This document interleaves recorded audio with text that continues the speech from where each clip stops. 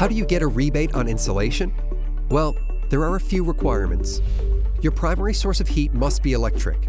If you have an additional heating source, like wood, your home must use at least 15,000 kilowatt hours of electricity a year.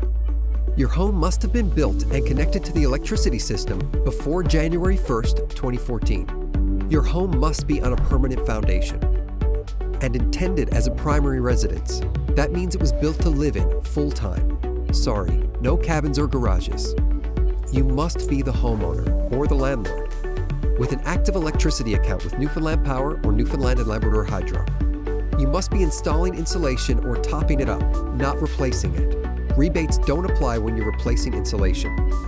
And one last thing the R value of the insulation must meet the minimum requirements after the insulation is installed.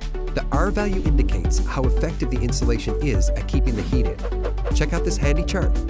For a basement or crawl space walls, your insulation must have an R value between 18 and 25 to qualify for a rebate. For a basement or crawl space ceiling, the R value must be between 30 and 35. For an attic, the R value must be between 50 and 55, 60 in Labrador. So be sure to buy enough insulation for the square footage to meet these requirements. Now, which types of insulation are eligible? It can be batt, rigid board, loose fill blown in, and spray foam.